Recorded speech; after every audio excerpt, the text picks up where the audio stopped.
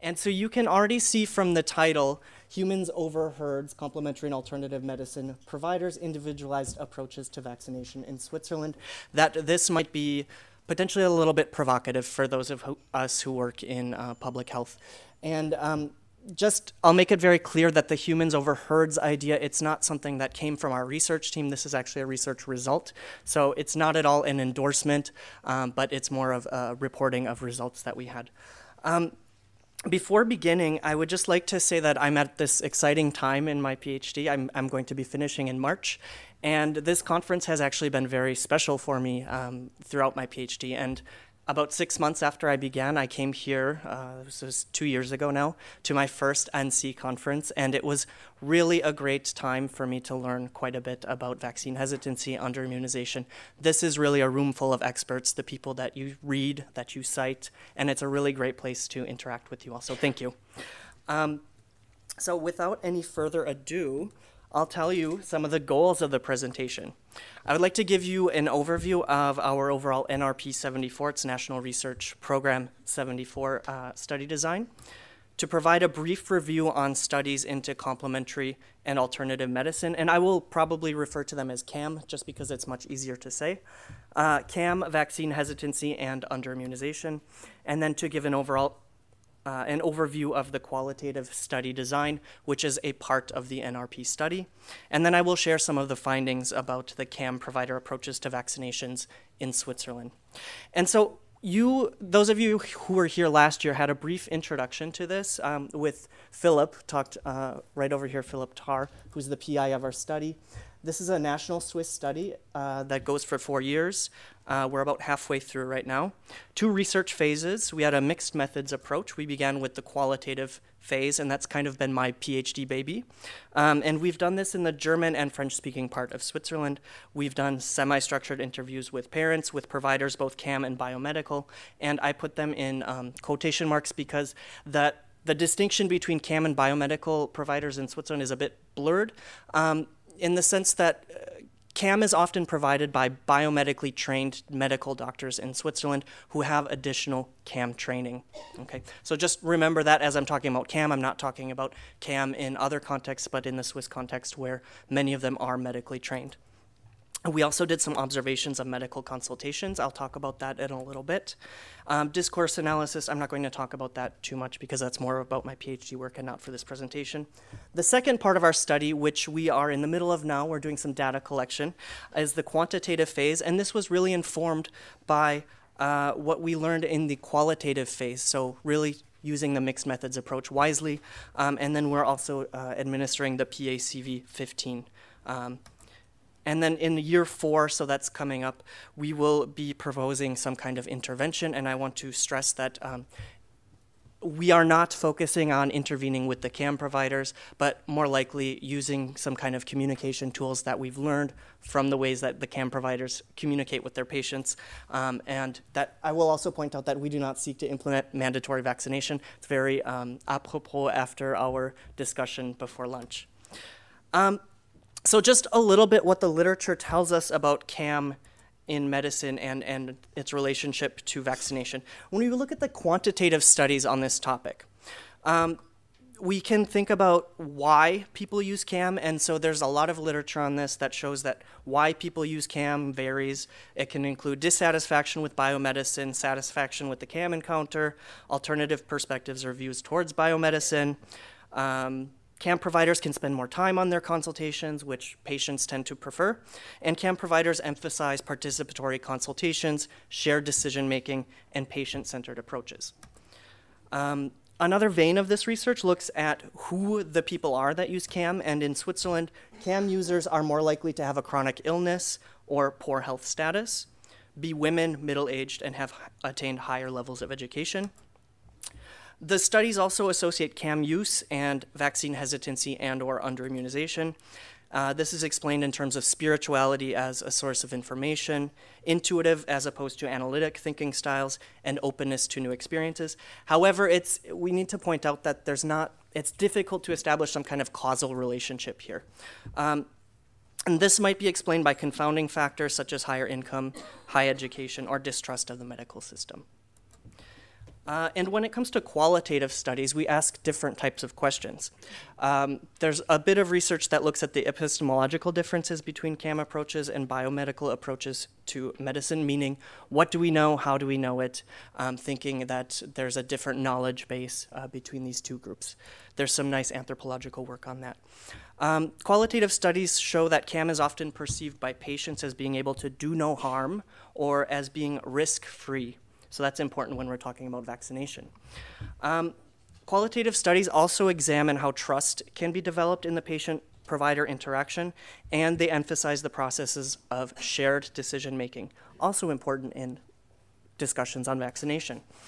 Um, and this is some really, really nice research that came out, I believe, last year from Katie Attwell in the back smiling at me, uh, where you found that CAM users and CAM providers have a symbiotic relationship. And you said vaccine hesitancy and CAM exist and function separately, but when combined, provide each other with resources that enable them to thrive together.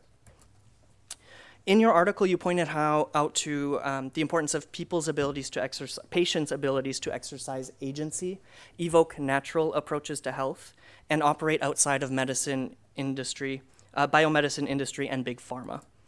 Um, but studies with a specific focus on CAM providers and patient provider interactions are scarce, uh, rare. I'm not even sure if we had found anything that had, spoke, had focused specifically on this. So that's kind of the gap that we were hoping to fill with this work. And that leads me to talk a little bit about the Swiss context and vaccination coverage. In Switzerland, vaccination is on a voluntary basis. Uh, the Swiss Federal Office of Public Health makes recommendations and then communicates these recommendations to the public. There's generally high coverage in Switzerland. It depends on the vaccine we're talking about. Um, and this has remained rather stable or even slightly increased over the past 20 years. In general, uh, the French and Italian speaking cantons have slightly higher uh, coverage than in the German speaking cantons. And here it's, it's more relevant for the, the, discussions about measles, and especially in the past couple of years.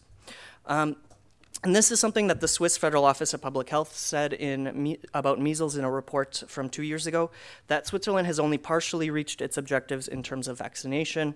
For instance, flares of measles still occur in parts of Switzerland, taking advantage of locally low rates of vaccination.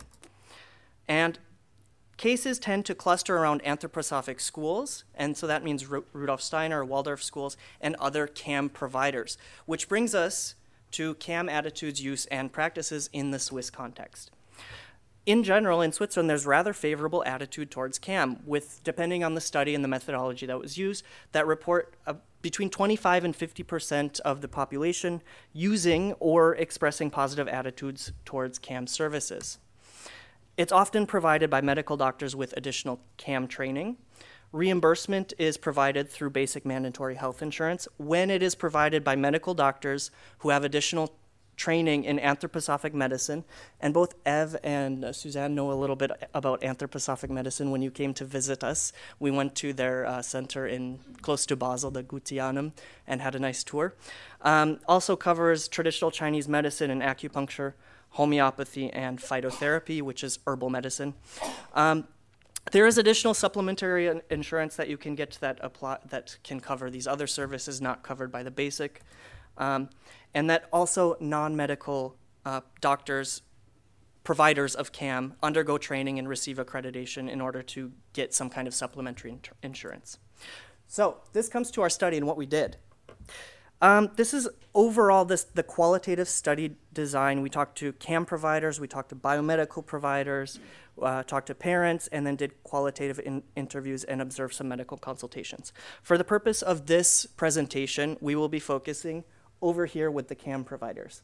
Um, so I'll just only be able to focus on them and share results about what we learned with the CAM providers.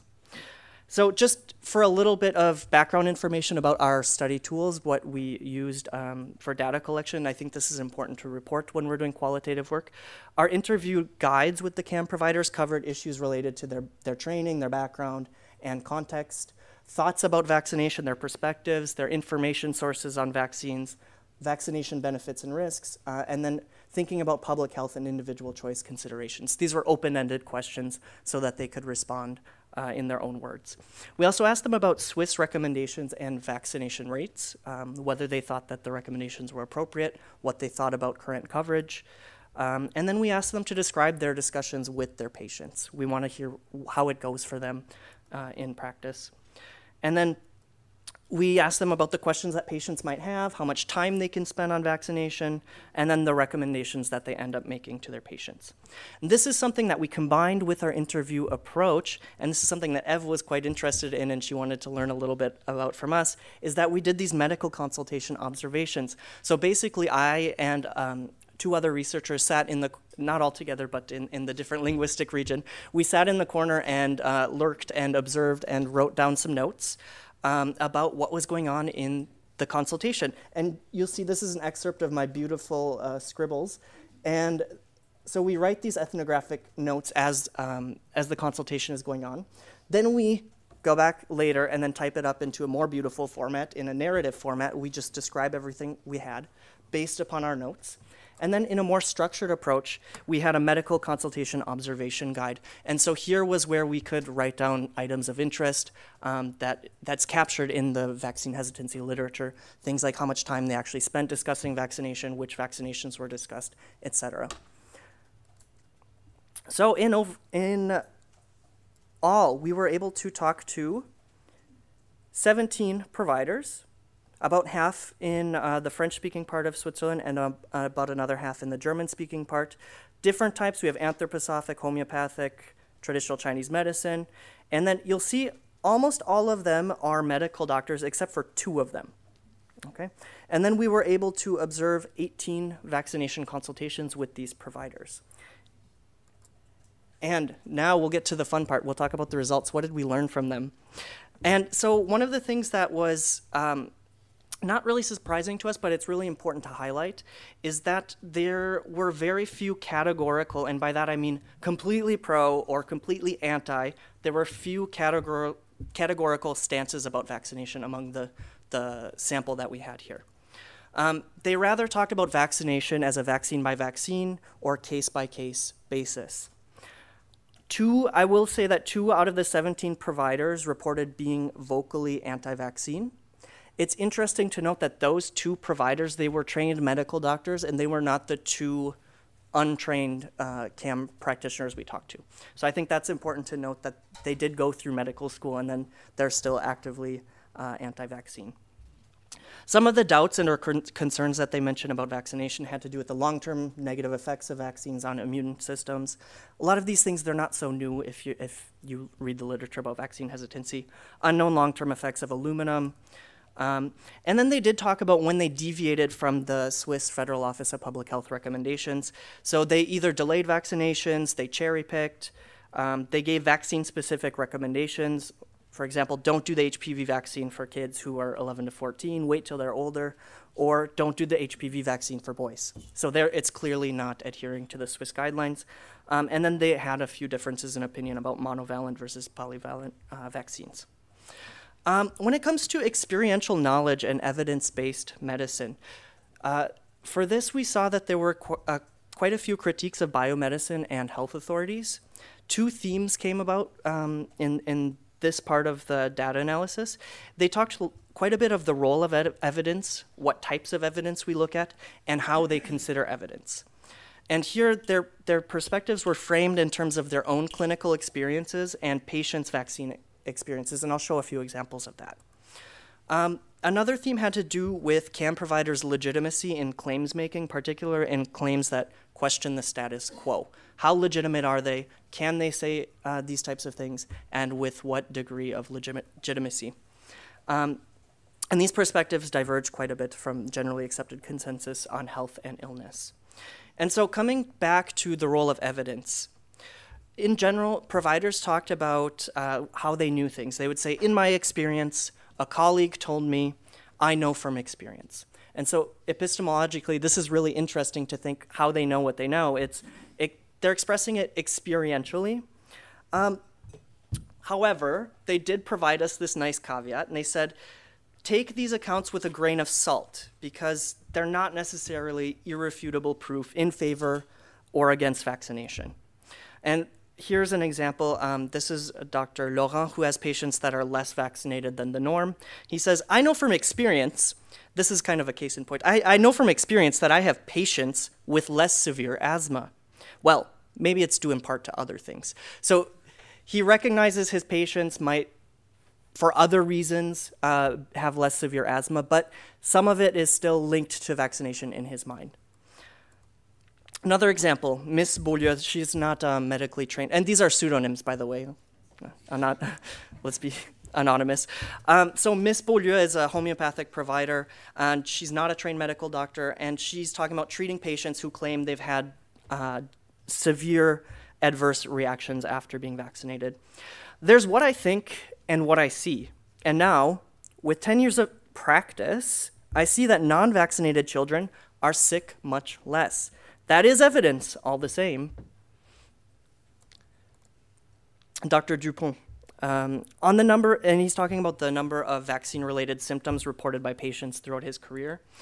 Since my patients often come for a second opinion for difficult cases, I see a lot of people who have had problems with vaccines. I have a deformed, meaning skewed, vision because of this. There might not be a scientific correlation, but it is important to listen to people who say, listen, since I've had this vaccine, I don't feel well. Science should take into account what these people experience and what they feel.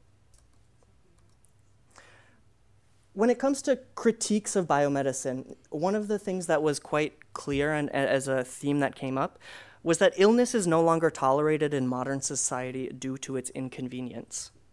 Here, Dr. Laurent, again, uh, talking about Rudolf Steiner's philosophy about devel- the developmental advantages of childhood illnesses. Children transform their bodies. Uh, I, sorry, that's a typo. Children transform their bodies into what they need through their childhood illnesses. So, advocating for going through some of these diseases. Dr. Dupont says about measles, well, you know, we didn't used to make such a monster out of it. Dr. Kimig um, about exposing children to infection. I always said that we should set up a rubella hotline if you have a five or six year old daughter, you can call, hey, is there someone with rubella around here? Then you can go there for a, bit, a visit. Maybe she'll get infected. And so the idea here is that if parents are willing to go through this and the, the parents are willing to take off of work for two weeks and take care of sick children, that that's a choice that the parents can make for their child. And the doctors are willing to support the parents in this decision. It's not the doctors who want to make the decision for them, but they're willing to, to go through that process with the parents. Other critiques of biomedicine um, the providers expressed interest in having the Swiss uh, Federal Office of Public Health clearly stating potential health risks of vaccines to the public. Dr. Ferrand said that there was some kind of knowledge gap. The Federal Office of Public Health uh, information is really good, but when it comes to some of the gray areas, we're in this kind of magma of information that's very, very difficult to sift through. We kind of have the impression that the, the Federal Office of Public Health and the Vaccine Commission only show studies that are, and he didn't finish that sentence, there are studies showing that there might be complications. Scientific honesty would have it so that those studies are also shared so that we could have that specific element. As a result, we must look further than what the, the office tells us. Um, the Doctors thematically question public health arguments about vaccination in the Swiss context.